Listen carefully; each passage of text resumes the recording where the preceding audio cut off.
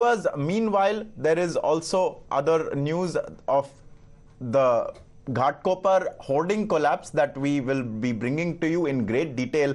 Essentially, what happened was in Mumbai, there was a torrid storm and a very, very large hoarding completely collapsed on top of a petrol pump. There were people sheltering under the petrol pump, and now as a result of this horrific collapse of which there is a video on the screen right now 14 people are dead. This is according to the latest input by the NDRF and uh, dozens of people have been rescued. There are about uh, 40 plus people who have been rescued from under this. Rescue operations are still ongoing. And you can see on your screens right now the size of the hoarding that collapsed in the very heart of Mumbai. We have Shrishti joining us from ground zero. Uh, Shrishti, show us the area, give us a sense and perspective of how terrifying this collapse was, how large this hoarding was.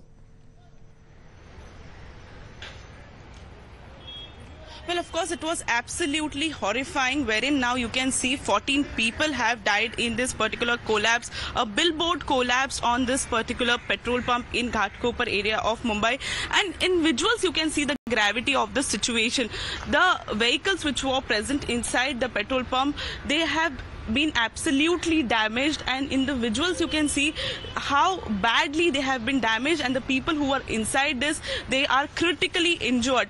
As per the bmc data now what it says is that more than 30 people are still uh, in critical situation. Several are being discharged and several are still in hospital. However the chief minister of maharashtra has said that the high level audit will be done and what bmc claims is that this was a illegal hoarding. Now a case has been registered under the uh, under the several sections of IPC where uh, against a person called Bhavesh uh, who was uh, responsible for this particular billboard.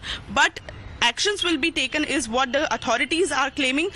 Still several people have died is what we can show you. We can tell you in this particular visuals also you can see there are several cars tempos bikes as well as taxis uh, and as there was a windstorm and it was raining people were trying to get a rescue also and people were trying to you know uh, wait till the wind gets over wait till the rain gets over and taking a shelter at this particular uh, uh, petrol pump. However it has become a very bad situation for them and it turned out to be deadly for the people who were present at that particular moment inside this petrol pump and in the also you can see how horrifying it must have been for the people and this is the aftermath we are showing you from the ground zero uh, from this particular petrol pump in Ghatkopar.